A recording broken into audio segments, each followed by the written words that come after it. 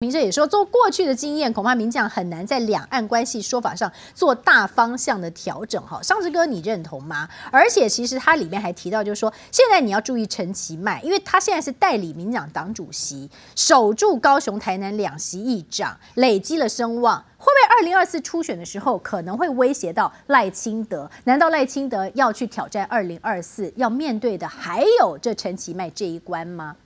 我想，其实主要是因为赖清德现在他就只有一个，虽然一人救全党哦的这样子的一个虚势是虚的，他的实力还没有坐实，还需要一些时间哈。所以在此之前，现在所有包括县市首长当中，或还有其他包括民进党内的，包括小英男孩他们那些受伤，能不能在短期之内弥补？那么这些都还有可能慢慢出来，还是有可能，即使不是跟赖清德竞争，还是有可能竞逐。那么大家的目光跟资源，要知道台湾，我觉得在这几年当中哦，过去从一个政治高位，你是一个总统或一个领导者、行政院长，你过去的政治分量或你的声量或影响力会相对高。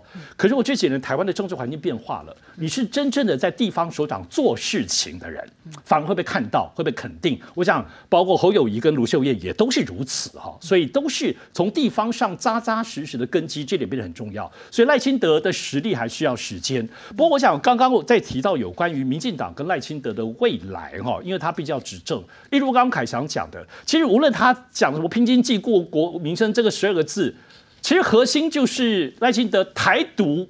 如果台独这个状况没有去掉，像刚刚凯翔讲去独。还没有去掉的情况不要忘了，在中国大陆两个会攻打台湾的，一个就是台独，第二个部分是外国势力。也就是说，赖清德，如果你还是台独，你最后当选总统，你比小英还独的情况下，光是为了赖清德，中国大陆就可以打台湾啦。嗯，其实基本上逻辑是这样子的。所以，因此赖清德在接下来要瞄瞄瞄瞄瞄准朝向他的这个总统大位的这个路程，我自己。预估它会慢慢的去毒化，因为如果它不去毒化，它的存在本身就会是台湾最大的危险。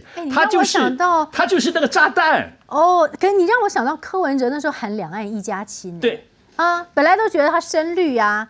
他跟独派的人很接近啊，就忽然需要的关系就喊一喊两岸一家亲。他因此赖清德，我相信他会思考出另外一个取代或覆盖掉他台独身份的未来，也跟小英可能有一点不一样的部分的两岸的。这样就像柯文哲当时的两岸一家亲，我当时认为两岸一家亲是非常有战略，是厉害的，因为他打破了蓝绿的部分的一个特殊的论述。哎，而且中国大陆买单，然后他也不接受，也不去谈九二共识，甚至更高于九二共识的这个技术面的价值。所以柯文哲很厉害的。那赖清德有没有可能会提出一个两岸论述？至少。覆盖掉它的去毒化，否则它这十二个字根本一点意思都没有，根本就是一个趋势。而不要忘了，它只要骨子里头还被视为是台独，这个总统未来的如果是总统，他就是可以攻打台湾的理由。